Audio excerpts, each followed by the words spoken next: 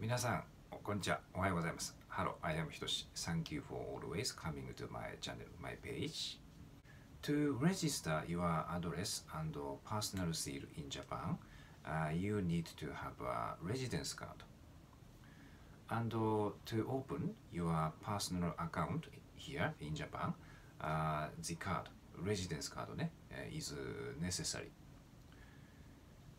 Temporary visitor visa holders uh, can't get the residence card uh, because it's not aimed at staying uh, long stay in Japan.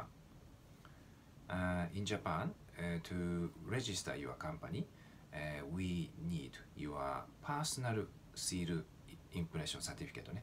あ印鑑証明書って言います。It's called 印鑑証明書。Personal seal impression certificate. And also, oh, you need to you need to uh, deposit your capital money, uh, 5 million yen, into your personal account. Uh, any solution? Yes, a very simple solution. Uh, getting the residence card. How? Applying for a certificate of eligibility of a four months business manager visa. After you get the eligibility, you can come to Japan, you can enter Japan.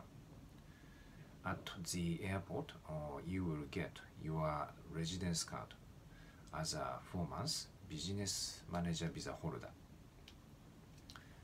Within uh, 14 days, you need to register uh, your address at the city hall of your place.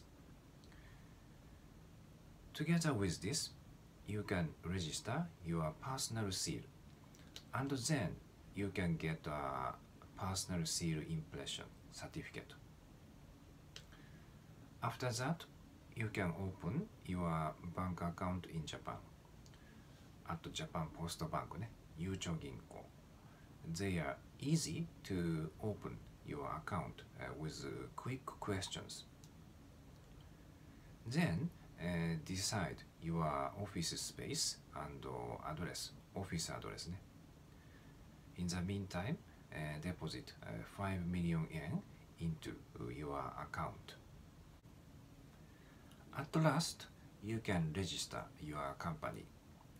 Then uh, we can go to the final stage, visa extension application as you will know, the aim of a four-month business manager visa uh, is to get a one year or more year term of uh, business manager visa.